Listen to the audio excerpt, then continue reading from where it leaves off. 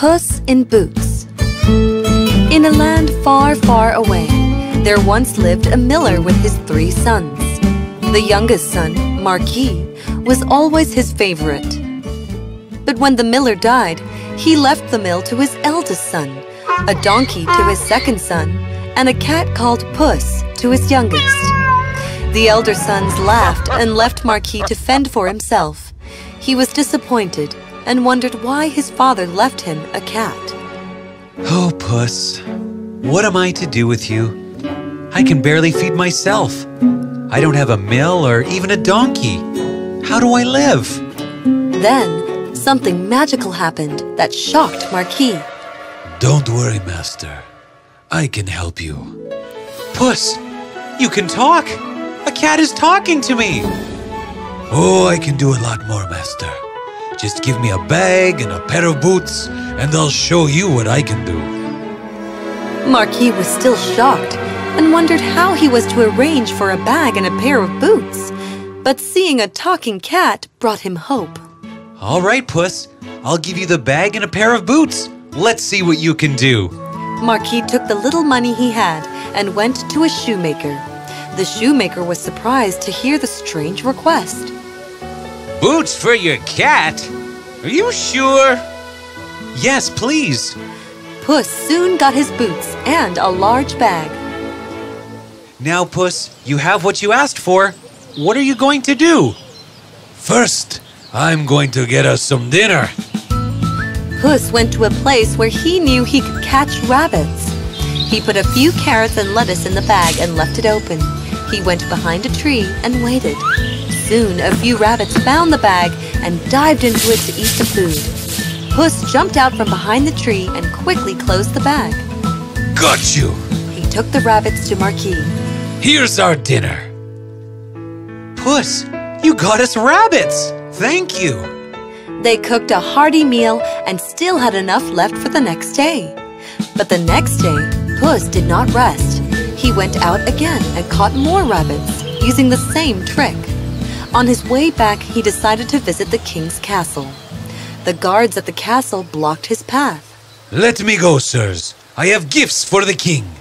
I'm sure he wouldn't be happy to know you stopped me. A cat that wears boots and talks? This one is surely a sight for the king. Let it through. They stared at Puss, walked through the doors and into the castle. He reached the king, queen, and the princess and spoke to their surprise. Your Majesty, my name is Puss. I belong to my master Marquis of Carabas.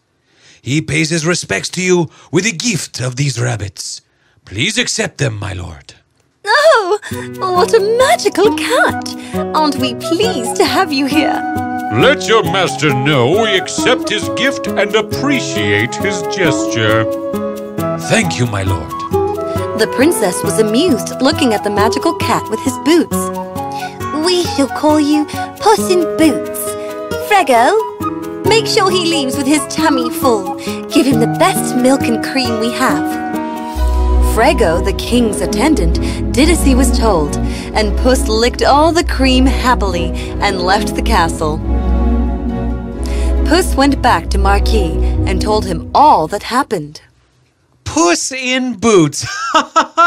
you met the royal family. Tell me, how was the princess? Oh, she was beautiful as the bowl of milk and cream she gave me. A sweet voice and a kind heart. You must marry her. Me? I may be your master, but I am not a prince. Some prince with a huge castle will take her away. Puss didn't say a word, but every day he went to the castle and gifted a rabbit or two to the king.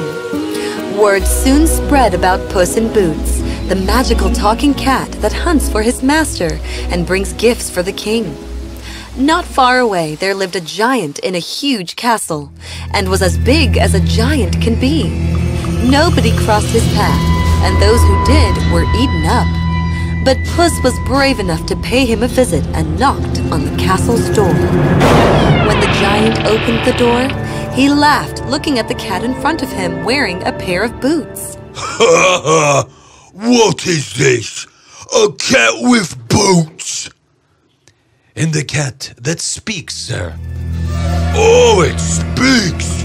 Wait, you must be the Puss in Boots that I hear about. And you, sir, are the powerful giant with amazing powers. Everyone fears you.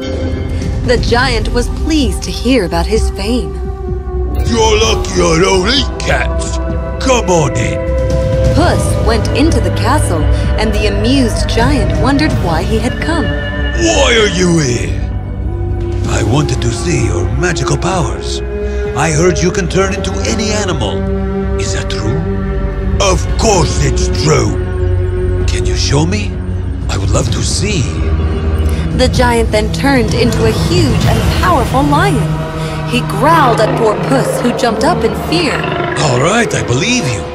Please turn back into yourself. Ha ha! Now do you believe me? Yes. Yes, I do, but. Yes? Can you turn yourself into a small animal as well? You're so huge. I can turn into anything. Look at this.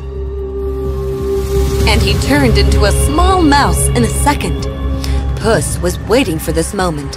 He pounced on him and gobbled him up quickly. Ah, that was a heavy meal. He strolled out of the castle with his head held high. Everything was going as he had planned. Puss came home to his master. No rabbits today? Master, let's go for a bath in the river. Now? Yes, master, right away. Just trust me. Marquis was confused, but followed Puss to the river. He removed his clothes and entered the river to bathe. Puss quickly picked up his clothes and hid them away under a stone. There was a path nearby where the king's carriage was passing. Puss knew the king's family took this path once every week. He waited for the carriage to come nearer and began to scream. Help! Help! The carriage stopped and the king peeked out at the familiar voice. Puss, what are you doing here? Your Majesty, please help my master, Marquis of Carabas. He was bathing in the river when someone ran away with his clothes. It is cold, and my master will soon fall ill if he gets no help. Guards, pick the best of our clothes and rush to Marquis of Carabas and make sure he's dry, clothed, and warm. The guards rushed towards the river with the royal clothes, and soon came the master of Puss in Boots, accompanied by the guards. He looked like a prince dressed in the king's clothes. The princess peeked from the carriage, and Marquis saw the princess for the first time. Oh, Marquis of Carabas such a handsome prince. The princess. She is as lovely as I imagined. Marquis recovered from this sight and bowed to the king. Thank you for this kindness, my king. No, thank you. It's good to finally meet the Marquis of Carabas. We have enjoyed your gifts every single day. We have much to speak of, but first, let us get you home. Puss, who was watching all of this, suddenly spoke to the king. Your Highness, we would be delighted to host you at my master's castle. Won't we, master? Marquis looked at Puss in surprise. Our castle? Puss nodded, and though Marquis was confused, he decided to trust Puss once again. Uh, yes, your majesty. I welcome you to dine with us at my castle. Very well, let us go. Marquis stepped into the carriage, and Puss ran ahead of their carriage. They were going towards the lands that belonged to the giant. The giant had many farmers working in the fields. Puss found the farmers and warned them. Beware, the king approaches. If the king asks who owns these lands, you must tell him they belong to Marquis of Carabas. If you don't say that, the king will have your head. The farmers were afraid, and they nodded their heads in fear. The king's carriage soon passed through these lands. The king looked at the farmers working and called out to them. Who do these lands belong to? Who do you work for? Marquis of Carabas, my lord. The king and his family were impressed. Master of Carabas, These are fine lands you have. Thank you, my lord. As the carriage reached the giant's castle, Puss was ready to welcome them. He had made all the arrangements. The king, his family, and Marquis got down from the carriage and admired the castle. Wow! What a magnificent castle! Indeed. Marquis soon realized this was supposed to be his castle. My lord, welcome to my castle of Carabas. Please come in and dine with us. That day, Marquis and Puss in Boots hosted the royal family at a huge table filled with delicacies. Puss had the giant servants serve a fantastic dinner for everyone. Marquis and the princess kept looking at each other, and so did the king and queen. They knew they had found a fine man for their daughter. The king spoke to Marquis and said the words Marquis thought he would never hear.